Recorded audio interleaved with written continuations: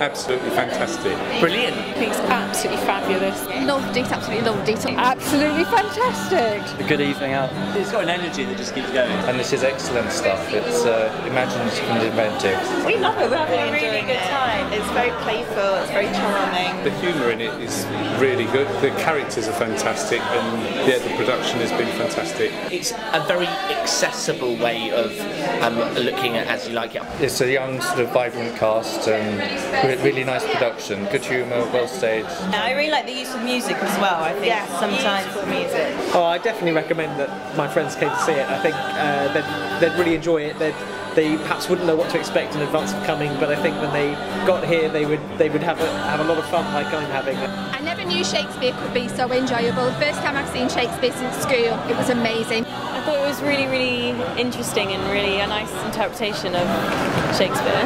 It was brilliant. Loved it. The actors were really, really good, and I love the live music. They always have live music here. It's brilliant.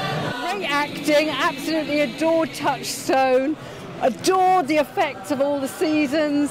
Wonderful, wonderful, brought Shakespeare to life as you never could. Wonderful. It was completely reinvented for a much more youthful uh, audience. It was very funny, um, and I would suggest you better get down and see it before it sells out because it will. So don't be scared that it's Shakespeare because you can understand it perfectly and the music is really, really good. Well worth coming to see and I definitely do recommend it.